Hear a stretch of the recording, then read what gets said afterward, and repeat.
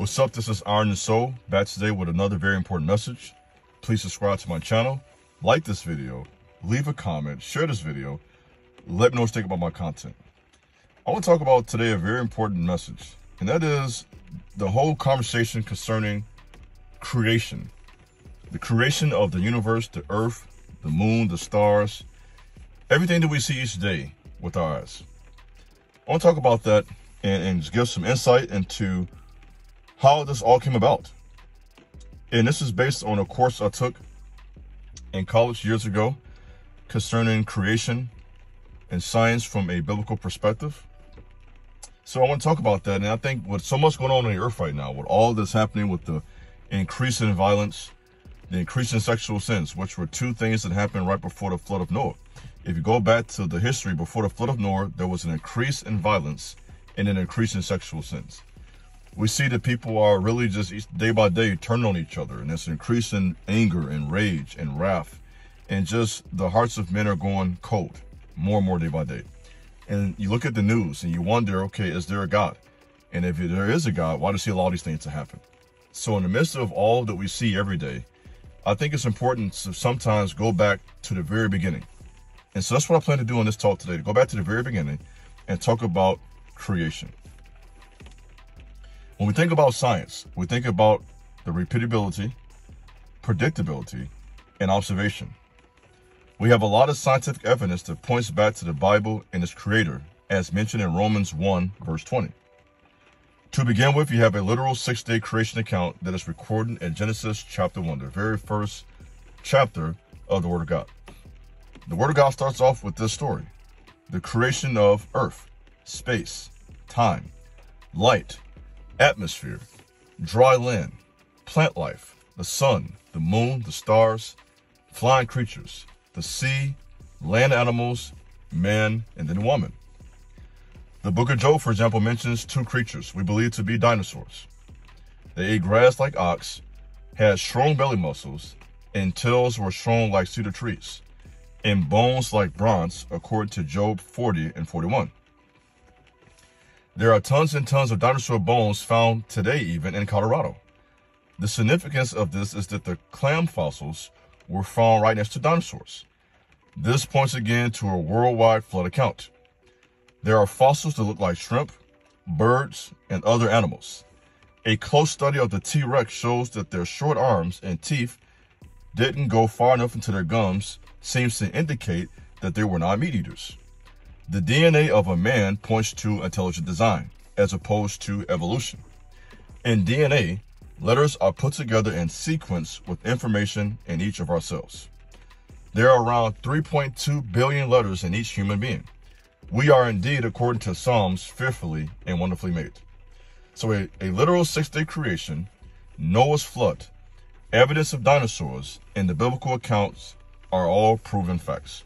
A six-day creation, Noah's flood, evidence of dinosaurs, and the biblical account of the flood all points back to the Word of God. The questions of who am I? Why am I here? Where am I going can be answered with verses from the Word of God. And these are three questions we all have had. Who am I really? What is my true purpose? Why am I here on this earth? And where will I go once this life on earth ends? We were created by God, according to Genesis 1, 26 to 27. And I think it's so important in these last days to go back to that very foundational teaching. We did not come about by accident. We are not just these random individuals on the earth. We were created by the Almighty God, the Most High. We are here to obey him according to King Solomon's book in Ecclesiastes chapter 12, 13 to 14. And I believe that those who believe in the Messiah, Yeshua, will one day spend their eternity in heaven according to John 14. To believe that there was a Big Bang Theory 20 million years ago, cooled into a ball. This is what they believe. There was a Big Bang 20 million years ago. It cooled into a ball 4.5 billion, billion years ago. And now we have an Earth. That's very hard for me to believe. Yet many people consider the Big Bang Theory view to be a fact. There are those who have a false view of what creation is. creation is not, I want to put this out here, a, a biblical belief in creation or the um, creation of heaven and earth and the universe by God, it isn't. Christian science, religion versus science or any other false presupposition. Creation is much more than this. We have evidence of the earth being relatively young. I do believe in a relatively young earth. I don't believe the earth is 100 million years old. I don't believe that. There are certain facts that point to the or, or that can authenticate the belief in a young earth. Evidence such as dust on the moon, comets, the earth's magnetic field, and helium in the earth's atmosphere. Life suddenly appearing and reproducing after its own kind. The evidence for a global flood and the like is what creationists believe. In the words of Ian Juby, Ian Juby was a creationist, someone who had a chance to listen to lectures, several, in my days of college. And so he is an expert, Ian Juby, I-A-N, J-U-B-Y. He's an expert in his study of creation science. He says that every belief system has a price. A price if you're right and a price if you're wrong. On one hand, you have the evolutionists who believe it took hundreds of millions of years for the world, man, and life to be, while creationists believe that the earth is no older than six to 10,000 years at the very most. We have to ask ourselves again, what is science? Right? What is science? Science is testable, observable, repeatable, and predictable.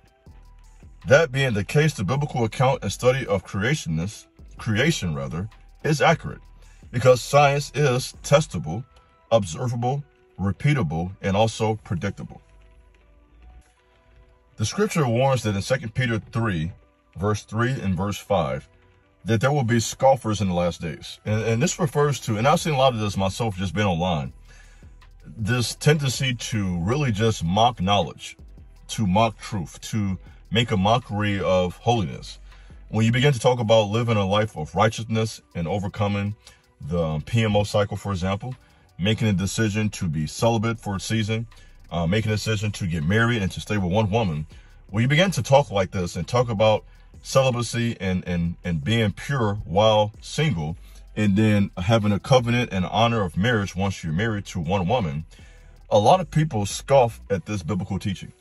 And so in these last times, the Bible prophesied that there will be men all over the earth who have all the answers, who despise truth, who despise God, and who despise anyone who talks about him. Charles Darwin, for example, in his book, The Origins of the Species, he was one who really tried his best to explain away the biblical account of creation. We now understand that the old earth concept was introduced for only one reason. This is to explain away the biblical account of the flood. So a lot of these quote unquote scientists created this old earth concept or teaching, philosophy, whatever you want to call it, with the very purpose of removing away the biblical account of the flood. Why is that? Because there are so many, uh, or, or rather so much evidence throughout the earth that points back to a worldwide flood that happened in the days of Noah.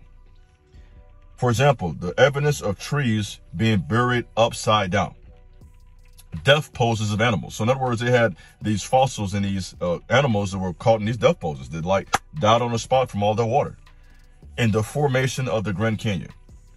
There are several logical reasons for the belief in a flood. The whole earth was covered by water, every mountain by at least 15 cubits. Billions of dead fish, birds, and animals point to Noah's flood. There are even fossils of clams found on Mount Everest. What does that tell you? right? There are clams that were found, fossils rather, of clams that are found on Mount Everest. There are some who say it takes 1,000 years for layers to form in mountains. We know now that one wave can be formed up to five layers. One wave can form up to five layers. The death pose of many creatures are fossilized. Animals with their mouths trapped open, heads arched back as far as possible, and others that appear to be swim in a swimming position. This all points back to what? The flood of Noah. Noah's flood was an event our world bears the marks of even to this day in 2022. Niagara Falls. We talk about the earth, creation, the, the universe, right? Niagara Falls has a 150 feet fall and speed, it gets up to the 60 miles per hour. So 150 feet fall, and speed gets up to 60 miles per hour. People who have viewed this site state you can hear the power of the rushing water. You may say, what's the big deal about this? We have rocks with percussion marks on them. The rocks had to be moving at 60 to 75 miles per hour to receive such marks. The rocks were picked up and thrown as they were pushed at a force of 10 to 15 miles faster than the Niagara Falls. Another truth that points to Noah's flood. We can measure the land folding, buckling, and fracturing even today. Erosion of riverbeds, channels, and rivers even going through straight mountains. We know much about the creation now that was once unknown. For example, the Red Wall limestone, one of the most prominent cliffs in the Grand Canyon, is only 500 feet thick. Soil can form in 10 years or less as well. This information refutes the theory that it takes millions of years for layers to form in mountain areas. Tree rings grow into two stages, the early wood in the spring and the late wood in preparation for winter. This is some very interesting evidence against, I'm sorry, there are there is some very interesting evidence against Noah's flood in the Arctic area. There was a growth difference that would have taken five years that happens only in one season. Some believe the trees were floated there during the flood of Noah. There are some people who believe the Grand Canyon is millions of years old. This simply doesn't make sense when viewed scientifically. If this was true, there would be accumulated dirt of about 3.5 miles high on the surface of the canyon. Where did all the dirt go? Nowhere, because the dating of the canyon at this age is totally off. There was a channelizing erosion during the flood as well. This happened when water gaps went straight through the mountains instead of around. Another false theory exposes that man and dinosaurs didn't live at the same time. Evolutionists teach that dinosaurs were extinct 60 million years before man evolved. There are tracks today with the footprint of a young woman and dinosaur. This, th these can be found in some of these creation um, museums you have throughout the earth. There are various um, cities within America that have creation science museums, and they have these type of tracks you can view for yourself. This means that there is, at some point, mankind lived with the dinosaurs. Dinosaurs laid their eggs in pairs and in a circular rotation that was rare. There were some found with the embryos still inside others, while others appeared to be on a run while laying the eggs, which of course points right back to the flood of Noah, which means the creatures were on the run as the world was being covered with water pressure. As we continue this study of the complete creation, the question arises, what did the Messiah, Yeshua, believe? Yeshua believed in Jonah's story according to Matthew 12:40. For as Jonas was three days and three nights in the whale's belly, so shall the Son of Man be three days and three nights in the heart of the earth. He also believed in Noah's flood, just as it was written in the, in the Old Testament. He believed that Adam and Eve were created by Almighty God, and not just some myth or fable passed on by tradition of men. The above scripture passages proves that Jesus believed in the creation of Adam and Eve. Okay, so what did Jesus believe? He believed in the creation of Adam and Eve. He believed in Jonah's story. He believed in a worldwide flood. He was present at all of the above because Jesus is God according to John 1 and verse 1. And all things were created or made by him according to Colossians 1 and verse 16. There are some who believe in a gap theory. What is that? That is that the six days were actually 6,000 years. The Bible makes it clear that it was a literal six days. And God called the light day and the darkness he called night. And the evening and the morning were the fifth day. There's a connection between Christ and the Ark of Noah. The Ark and Christ were, think about this, this is interesting. So you think about the Ark of Noah and Jesus Christ. Both of them were provisions of God from death and destruction, right? They were both sacrifices, took unique beatings, People scoffed at both messages. Many rooms, but only one door. I, I don't know about you guys. I thought that, that was pretty profound from this lecture. So think about the Ark of Noah and the connection between Jesus Christ. Uh, provision from death and destruction, sacrifices. It, they both took on unique beatings. Imagine the beating the Ark took on throughout that time, as well as Jesus on the cross. And people um, back then, even today, both scoff at both messages. And it's interesting that there are many rooms, but only one door. The ark landed on the 17th day of Nisan, which is the same day Christ rose from the dead. That is very interesting. So the ark landed on the 17th day of Nisan, which is the same day that Christ rose from the dead. Next, we will briefly look at the carbon-14 dating. Within 100,000 years of all carbon should be completely gone and death stops the intake of carbon-14. Coal, gold, and diamonds are supposed to be millions of years old, right? This is what they teach. If this was true, why is there coal and diamonds with carbon-14 in them? Right? Think about that. If within 100,000 years of all carbon was completely gone and death stops the intake of carbon-14, how is it that gold and diamond, all these precious jewels are made over the course of millions of years? That would not be, that cannot be scientifically true. This is true why there is coal and diamonds with carbon-14 in them, if that's true. This theory contradicts itself and doesn't prove things evolved over millions of years. Let's talk about a little bit now, ancient man. Ancient man was much more intelligent in those days than we think. The pyramids that are built over the world have heating and cooling systems that still work to this day. According to scriptures, all cultures came from Babylon. So from a biblical perspective, all cultures came from Babylon. And I plan to do a teaching on Babylon and how I believe, in many cases, America is becoming like this pagan country and, and like basically modern day Babylon. So that being said, according to scriptures, all cultures came from Babylon. The Tower of Babel was actually a pyramid. Another example of the intelligence of man in those ancient days is the battery. The four metals refined in a clay vessel was an effective tool used in Egypt. The stones for the pyramids weighed thousands of tons, yet they were able to move this massive weight. How did they do it? It is said that they simply used drums and trumpets. This doesn't make sense, but apparently they knew something we didn't know. They knew something about sound and vibrations that we didn't know. Man has so many wonderful discoveries. For example, the Zulu um, Japanese fishermen caught this massive sea creature was some believe to be a dinosaur. The flippers were narrow at the body, all four the same size and had red flesh unlike that of sharks.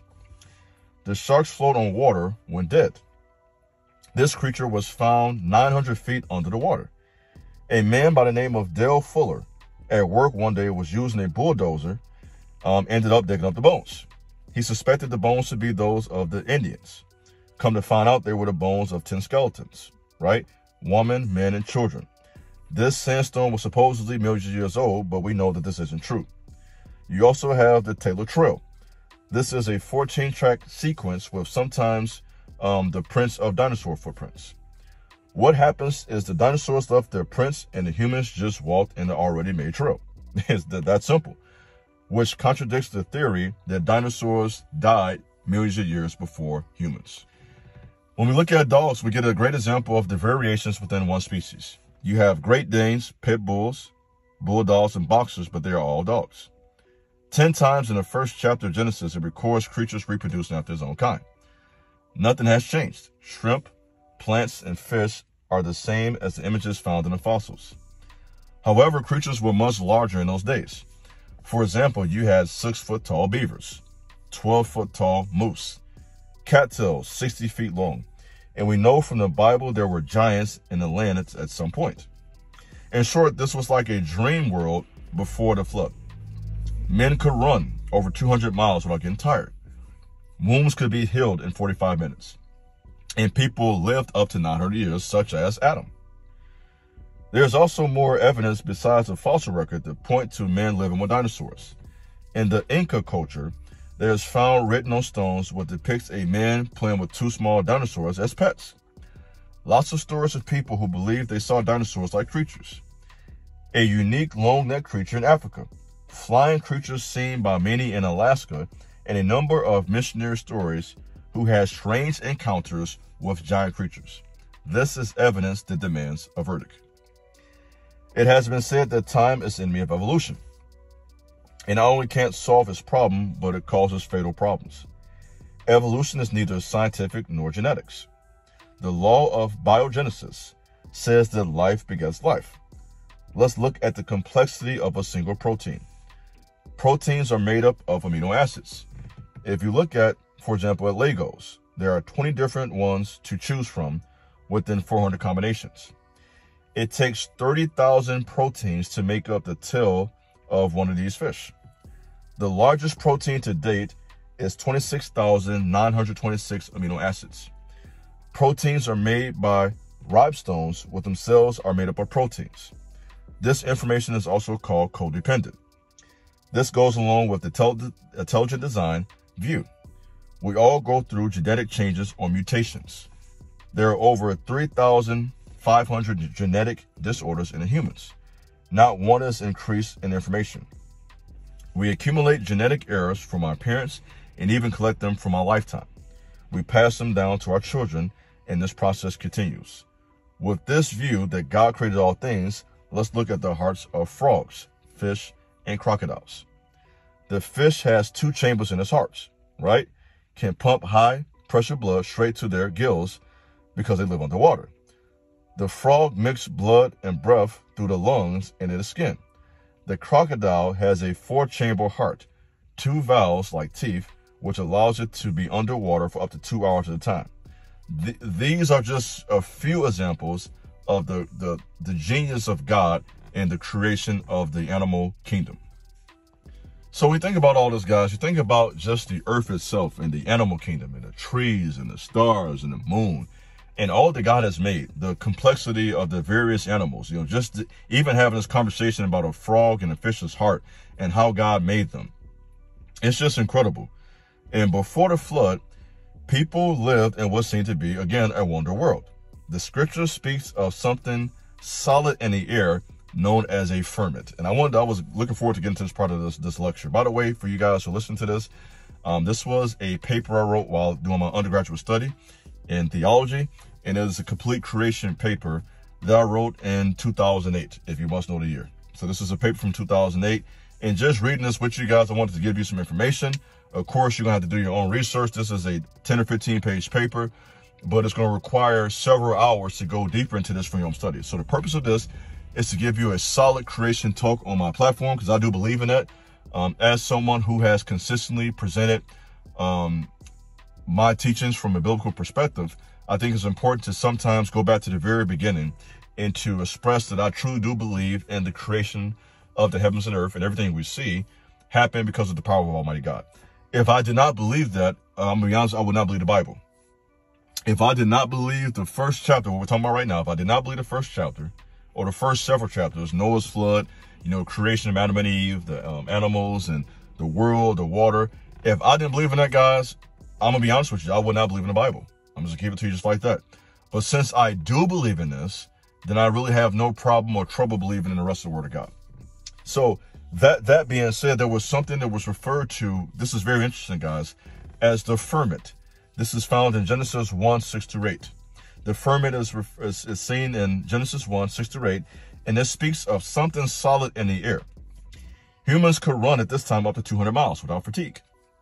So in other words, it was a different different atmosphere. There was the, the the air was fresher. It was a more perfect earth. This is before the fall of man, before the curse and all those things happened. So you had people running 200 miles without fatigue. You don't think about this. People could get healed from a wound in up to 45 minutes. Animals were a lot larger. This is why people were able to live over 900 years. If you go back to Genesis, people were living what? 400 years, 500 years, 600 years, 900 years. But unfortunately, because of the sins of men, the world after the flood was a different place. And it even points back to our world now. It's so sad to think about people living that long. And now we have people, you know, especially in our ghettos, dying at 16. Think about that. You know, let me switch gears for a second. L.A. Capone died at 17 in Chicago. King Von, Duck in their 20s. So you got all these young men all over this country, men in the military, you know, our, our veterans, you know, Marines and Air Force and Army. You got all these young men all over this earth just dying at such a young age. It's really sad when you really think about it on a deeper level. It's really sad. And, and we see this as the result of all the curses and death and destruction that is in our modern earth. God limits man's confusion. God limits man's confusion, right? In other words, God limited man's life, confused their languages, and the natural disasters that took the lives of thousands of people, right? So God stepped in and created some confusion and began to limit the amount of time that man could be on the earth. So I hope you enjoyed this teaching. Uh, a lot of thought went into this, a lot of study and research. This was taken over the course of like a week or two, several lectures. I took a lot of notes and probably took like 20, 30 pages of notes throughout those teachings for that week or two. I have a book um, that I don't know the name of right now. I have to look it up, see if I still have it in my library now. I may not even have it. This was back from 2008. Um, but this is based on a book I read years ago about creation science, of course. Um, and I think this is important because people like to make people like me and others sound like idiots who believe in a biblical creation account. Like we're just these dummies that don't know about science or or the um, intelligent design of the earth, of mankind, everything else. And so I think it's important to really have a pretty solid uh, explanation of this. I'm not saying we have to be a creation expert like Ian Juby. Of course, I'm not a creation expert, but I know enough about it to give an intelligent response to those who ask me why I believe in the creation of heavens and earth. So I think it's good for that. And it's also good to keep in mind that we do have a creator watching over us. I, you know, guys, you know me, let me give my, let me be honest so now, let me be the prophet now. Let me step out of creation and step to my prophet's office. You know, guys, there's so much bad stuff happening in the world right now. be honest. You know, some bad times are coming. You know, I mean, I hate, to, I hate to even say that. Some, some scary times are coming, dangerous times. But we, we have to remind ourselves, guys, that there is a God in heaven, right? There is a God that no matter how bad things get, that watches over us, that protects us, and has a plan for our lives. And so I want to give you this message today. This is your brother Iron the Soul. Take care. God bless. Peace.